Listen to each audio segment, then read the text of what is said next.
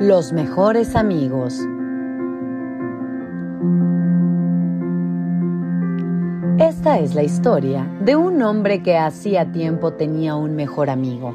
Eran inseparables. Las personas solían pensar que eran hermanos por lo unidos que eran.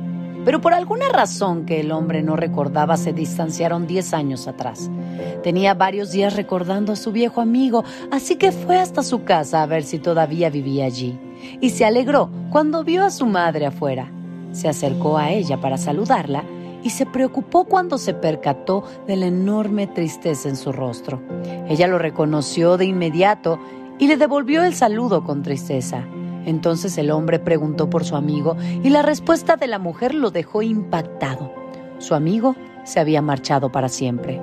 Su madre lo invitó a entrar a la casa para poder contarle mejor lo sucedido.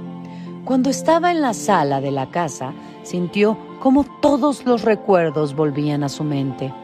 En esa sala pasó gran parte de su infancia y de su vida. Siempre jugaba ahí con su mejor amigo. La mujer le contó que su amigo pasó varios años luchando contra una terrible enfermedad.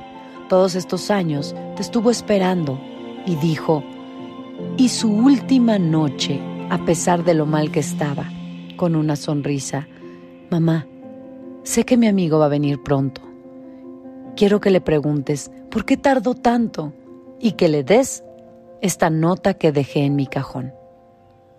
El hombre se dio cuenta que la mujer tenía un sobre en las manos y ésta se lo entregó. La nota decía, querido amigo, tardaste un poco, pero sabría que vendrías.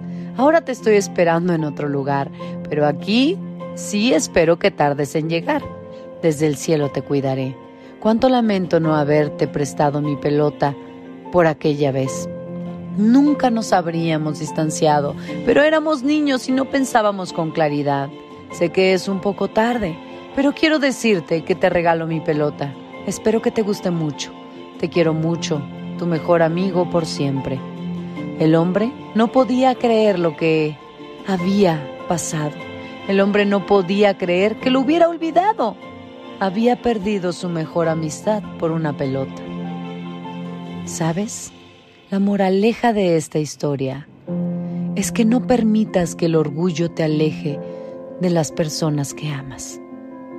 Deja a un lado tus pensamientos y tu razón y piensa en lo verdaderamente valioso en la vida. Espero que te haya gustado esta reflexión. Te invito a suscribirte a mi canal de YouTube. Me encuentras como Anet TV. Allí podrás escuchar todas las reflexiones de cada mañana, compartirlas y descargarlas. Y dale en la campanita si quieres recibir las notificaciones de un nuevo video. Que tengas un gran día. Yo soy Anet Camela. Hasta la próxima.